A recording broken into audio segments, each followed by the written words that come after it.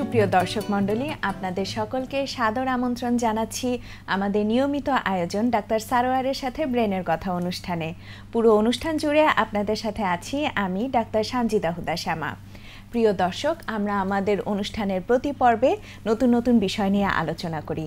আজকেও আলোচনা করতে আমাদের মাঝে বরাবরের মতো আছেন doctor Sarwar Jahan Bhuiyan, senior consultant paediatric neurology, Apollo hospital, Dhaka. চলুন স্যারের সাথে কথা বলি। স্যার আপনাকে অনেক অনেক ধন্যবাদ আমাদের আজকে অনুষ্ঠানে আসার জন্য। তোমাকে ধন্যবাদ। আর আমি তোমার মাধ্যমে দর্শকদের স্বাগত জানাই অনুষ্ঠানে। স্যার আমরা তো আমাদের অনুষ্ঠানে প্রতি পর্বেই নতুন নতুন বিষয় নিয়ে অনেক ইন্টারেস্টিং বিষয় নিয়ে আলোচনা করি। তো স্যার আজকে কী নিয়ে আলোচনা করতে চাচ্ছেন? আজকে আলোচনা যেটা করতে চাচ্ছি সেটা হচ্ছে আমরা নিউরোলজিতে কিছু ওষুধ ইউজ করি। সেই ওষুধটা খাওয়ার পদ্ধতি কেমন সেটা কীভাবে দিলে ভালো হয়?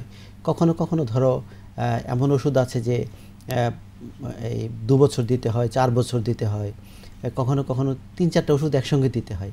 এটা কেমন করে দিলে ভালো হয় সেটা একটু আমি আমার দর্শকদের উদ্দেশ্যে বলতে চাচ্ছি। তো স্যার, তাহলে সবার প্রথম এই যে স্বাভাবিকভাবে আমাদের স্নায়ুতন্ত্রের যে রোগগুলো, এই রোগগুলোতে প্রধান যে বিষয়টি সেটা হচ্ছে ধৈর্য সহকারে অনেক লম্বা সময় ধরে চিকিৎসাটা চালিয়ে যেতে হয়। এই পুরো সময়টাতে ওষুধগুলো কীভাবে আপনারা প্রেসক্রাইব করেন বা একজন রোগীকে কীভাবে ওষুধগুলো গ্রহণ করতে পরামর্শ দিয়ে থাকেন? আমরা যখন বলি যে তুমি এক চামচ খাবা অথবা দু চামচ খাবা, এটা কিন্তু আমরা এখন আর লিখি না।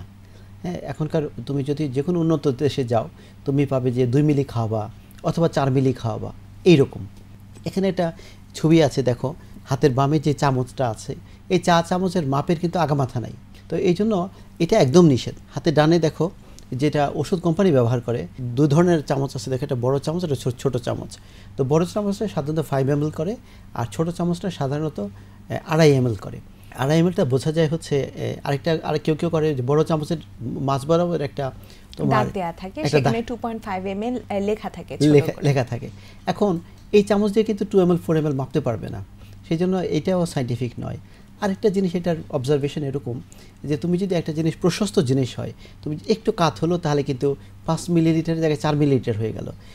অথচ আমার ড্রাগটা কিন্তু সঠিক মাত্রায় খাওয়ানো অত্যন্ত জরুরি। সেই জন্য এটাও কিন্তু সঠিক নয়। এরপরে দেখো, কোনো কোনো কোম্পানি ড্রপার নিয়ে এসেছে। ড্রপারের ব্যাপারে আমার অবজারভেশন হলো আমাদের দেশে যেই সব কোম্পানি যেসব ড্রপার নিয়ে এসেছে, সেটা কিন্তু তোমার খুব হাই কোয়ালিটির নয়। কারণ ড্রপারে যেই মেকানিজম ইউজ করে, সেটা হচ্ছে কি ওই সাকশানিং মেকানিজম সাকশানিং যদি খুব ভালো না হয়, তাহলে হয় বেশি যায়, অথবা কম যায়, অথবা পড়ে যায়। সেজন্য ড্রপারটাও কিন্তু খুব ভালো পদ্ধতি নয়। আরেকটা অনেকে ছোট একটা কোটা থাকে যেটাতে ইয়া মার্কিং করা থাকে 1 ml 2 ml 3 ml সাধারণত এই কোটাগুলোতে 5 ml থাকে 10 ml থাকে 20 ml থাকে এরকম থাকে। তো এটাও কিন্তু সেই একই সমস্যা হয় যে তোমার যেহেতু চড়া জিনিস একটু কাত হলে তোমার সঠিক মাত্রায় যাবে না এবং এটাতে দুই মিলিলিটার চার মিলিলিটার তুমি মাপতে পারবে না। তাহলে আমরা কেমন করে খাওয়াবো? সিরিঞ্জ হচ্ছে আনসার এমন সিরিঞ্জ যেটা সাধারণত আমি তিন মিলিলিটার সিরিঞ্জ অথবা পাঁচ মিলিলিটার সিরিঞ্জ অথবা এখানে একটু বড় সিরিঞ্জ দেওয়া আছে সেটা ইউজ করতে বলি। সিরিঞ্জ হচ্ছে সাংঘাতিক উপকারী এবং সঠিক মাত্রার মা ওষুধ দেবে। ওষুধ যদি এক মিলিলিটার দেখ সেদিক হয় তাহলে কিন্তু ওষুধ কাজ করতে চাইবে না। আপনারা যে প্রেসক্রিপশনে লিখে থাকেন যে সকালে খাবে রাতে খাবে এই বিষয়টা কীভাবে লেখা থাকে প্রেসক্রিপশনে? মানে রোগী বুঝবে কেমন করে? আমরা বলি কি টু টাইমস এ ডে হ্যাঁ সারাদিন দুবার অথবা লিখে দিই যে বারো ঘণ্টা পর পর। হ্যাঁ এর মানে হলো যে সাধারণত দুবার যদি আমি বলি, রোগী ধরে নেয় সকালের নাস্তা আর রাতের খাবার।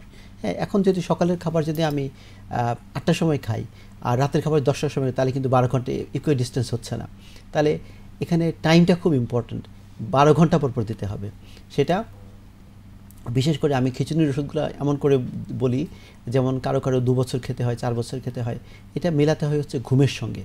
যে আমি জিজ্ঞেস করি যে, তুমি কটা থেকে ঘুম থেকে উঠছো? তখন মা বলে যে, ও সাধারণত আটটার সময় ওঠে। তাহলে আমি বলি কি আটটাকে শো আটটায় দাও?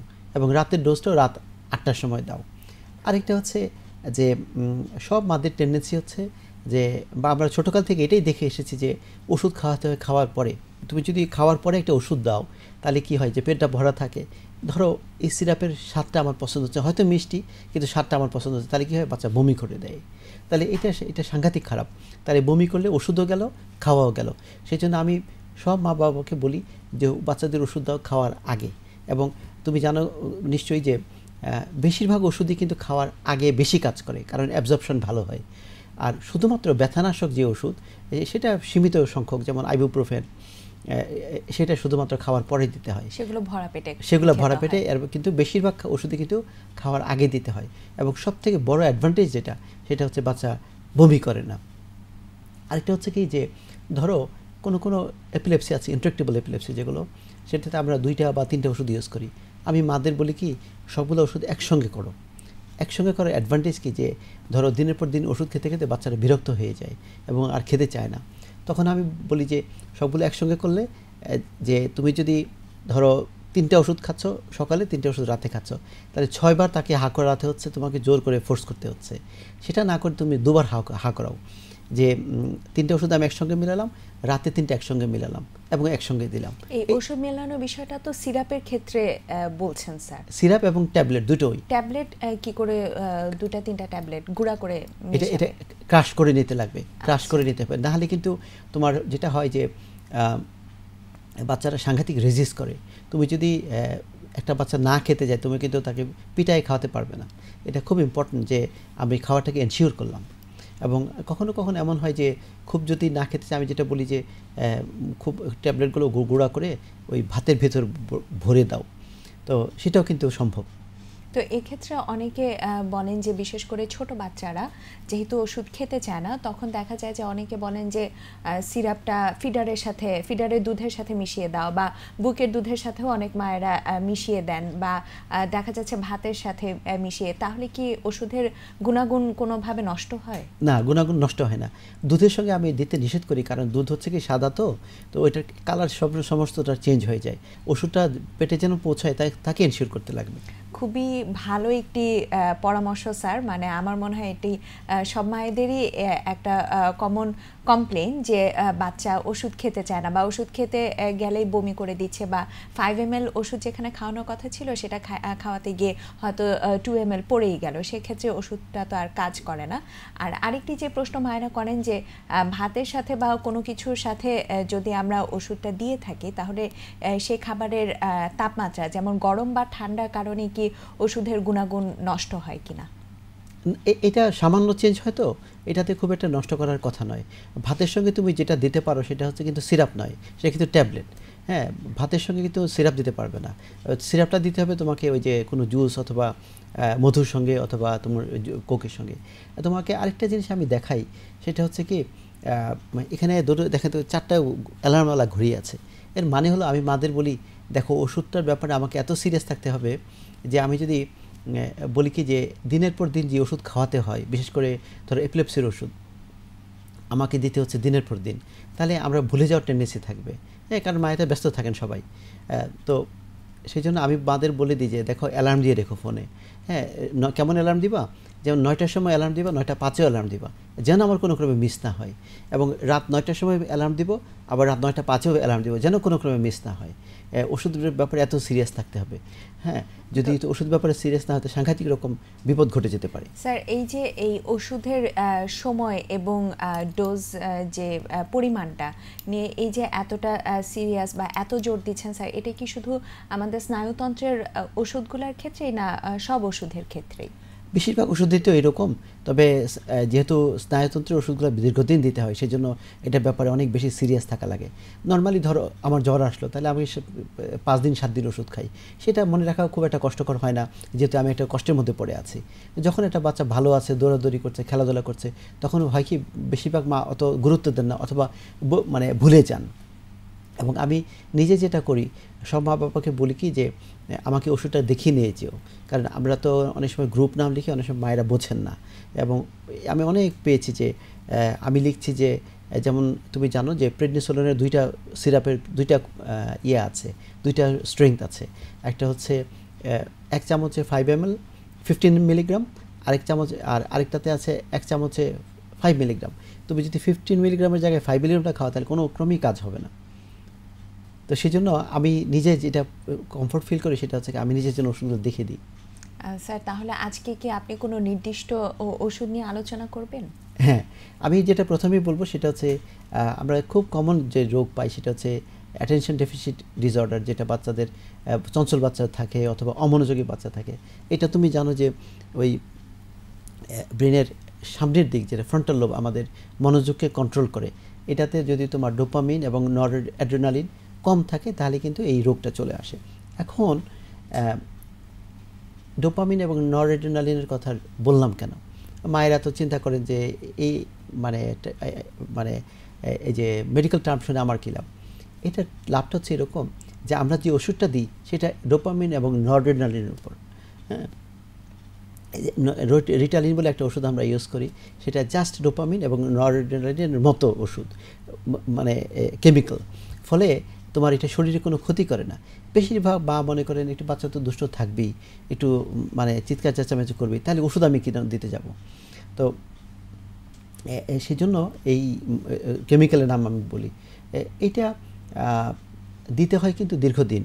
ধরো আমি পাঁচ বছর বয়সে শুরু করলাম, এটা দিতে হবে তোমাকে দশ বছর পর্যন্ত অথবা পনেরো বছর পর্যন্ত। যতদিন পর্যন্ত সে মোটামুটি, ধরো, আর একটু বুঝটা না বাড়ছে, অতদিন পর্যন্ত ওষুধ দিতে হয়। এবং যখন তোমার বাচ্চা খেলাধুলা করছে, দৌড়াদৌড়ি করছে, তখন কিন্তু ওষুধ মনে থাকতে চাইবে না। সেই জন্য এই ওষুধের ব্যাপারে সিরিয়াস থাকতে হয় এবং এটা দীর্ঘদিন যেহেতু খাওয়াতে হয়, মায়েরা অনেক সময় বিরক্ত হয়, না না, কী খাওয়াচ্ছি?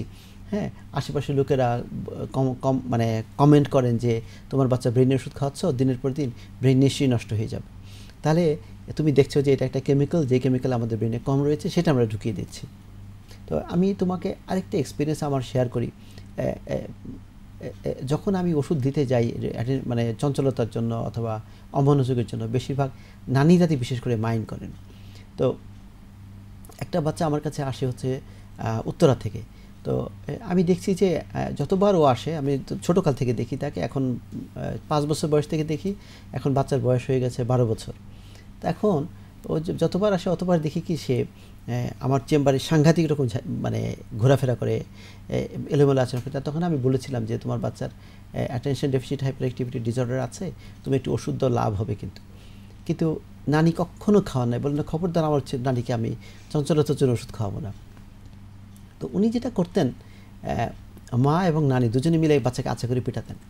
এখন সেই বাচ্চা যখন ক্লাস ফোরে পড়ে, তখন দেখতে শুনতে বড় হয়ে গেছে সাইজে বড় হয়ে গেছে। তো এখন ওই বাচ্চার নানিকে পিটাই। এবং মা আমাকে দেখাচ্ছেন যে, ডাক্তার সাহেব, আমি কখনো আপনার লজ্জায় লজ্জায় বলতে পারি নাই।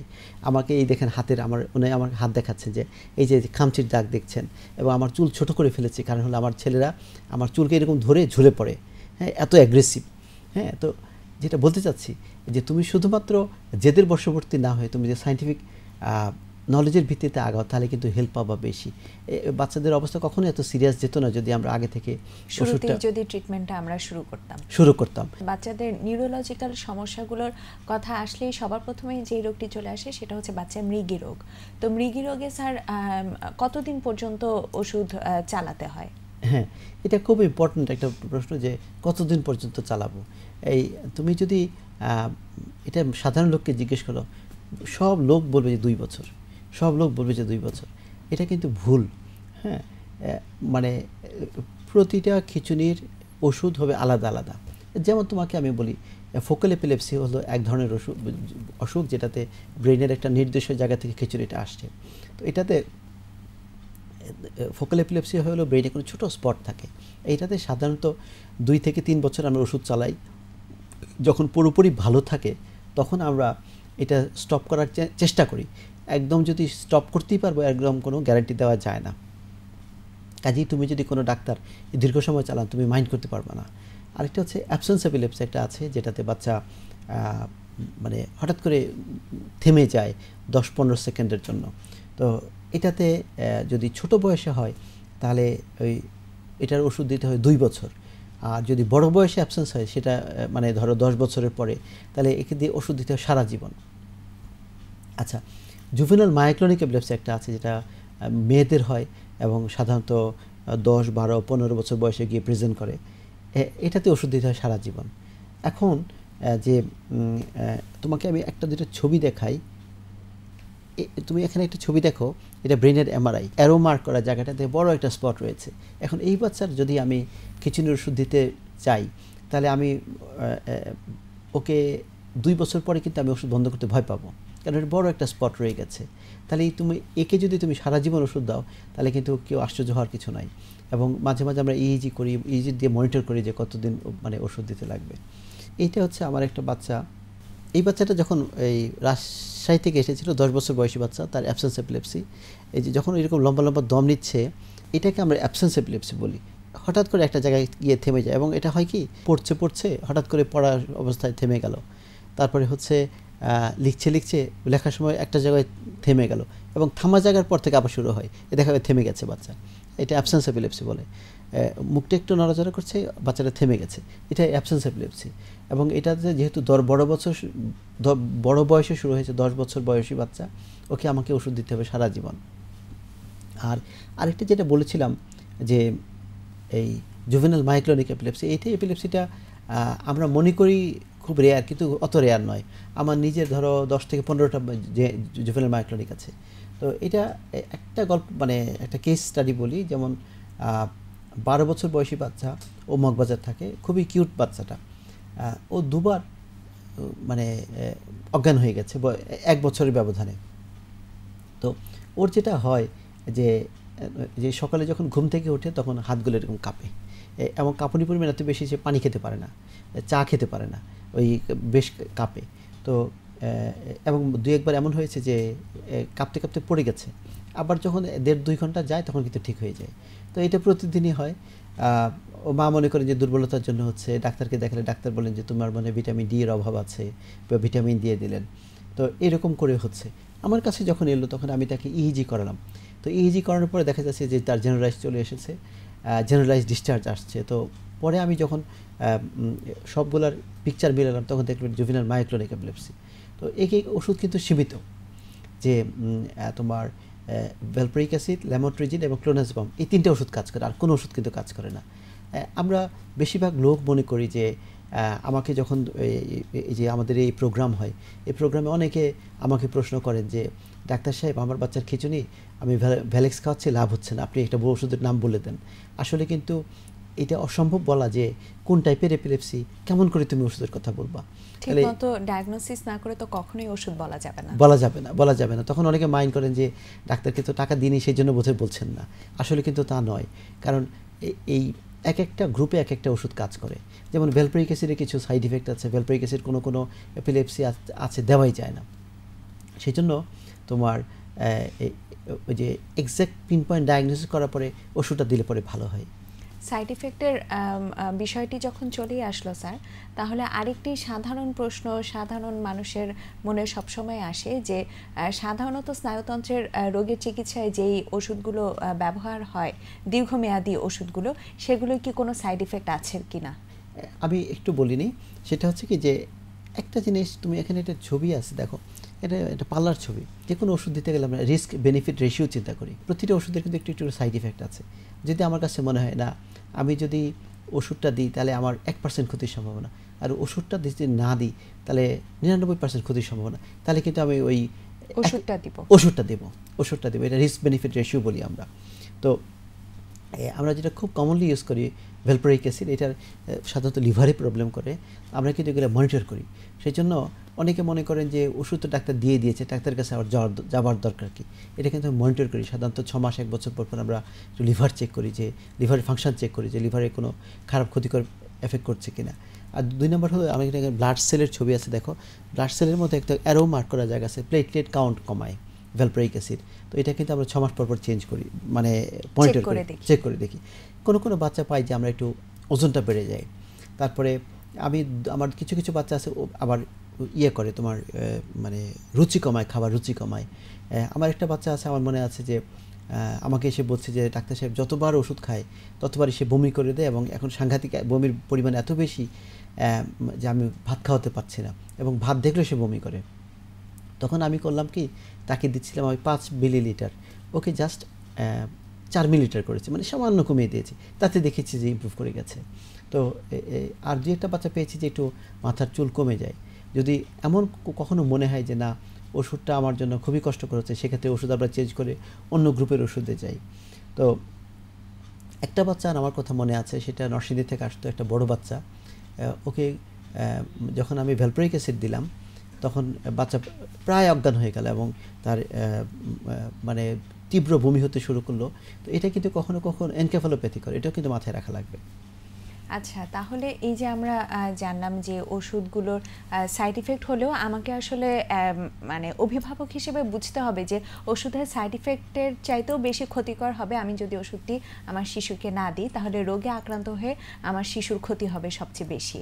তো আরেকটি যেই কাজ এখনকার মানুষরা অহরহই করে থাকেন সেটা হচ্ছে ডাক্তার একটি ওষুধ প্রেসক্রাইব করার পরে সেটি আবার তারা গুগলে চেক করেন, করে জেনে এসে তারপরে হয়তো বলেন যে সাইড ইফেক্ট সম্পর্কে বলেন এবং সেই ওষুধটি দিতে চান না এই বিষয়ে আপনি কি বলবেন স্যার? আচ্ছা এই ধরো এইটা হচ্ছে যে গত পনেরো বছরে ইনফরমেশন টেকনোলজি অনেক ইমপ্রুভ করেছে বেড়েছে। আমার মনে আছে যখন আমরা ইন্টারমিডিয়েট পড়তাম তখন আমরা একটা আমেরিকাতে যখন চিঠি পাঠাতাম সেই চিঠির রিপ্লাই আসতো দু মাস পর হ্যাঁ? তো এখন কিন্তু তা নয়। আমি এখন মানে একটা ইমেল করছি আমি সকালবেলা উঠে সকালবেলা উঠে আমি একটা রিপ্লাই পাচ্ছি। তো এই ইনফরমেশন টেকনোলজি কিন্তু এগিয়েছে এবং এটা গোটা মানব জাতির জন্য কল্যাণ করছে।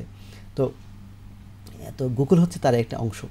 তো কিন্তু এটা যে ডাক্তারি জিনিসটা হচ্ছে হাইলি স্কিল্ড জিনিস হাইলি টেকনিক্যাল জিনিস।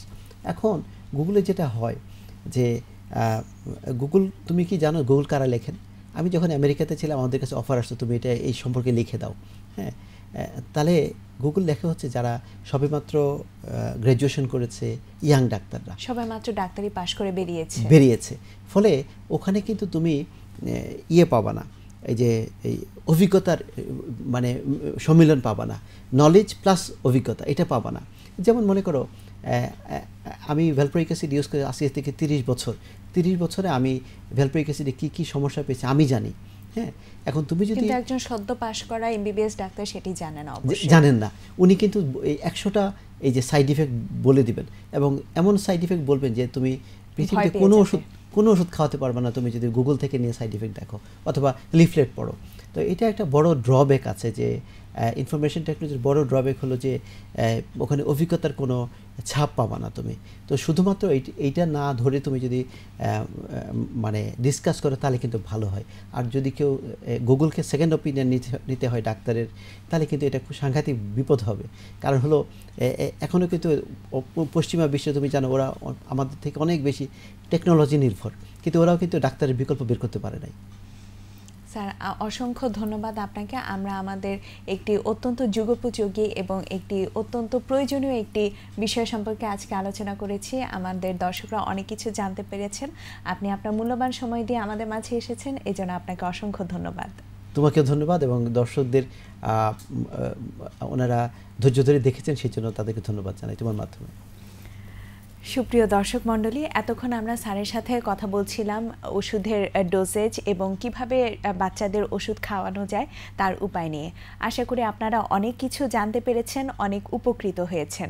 কথা হবে আগামী পর্বে। ভালো থাকবেন, সুস্থ থাকবেন। এই আশাবাদ ব্যক্ত করে বিদায় নিচ্ছি।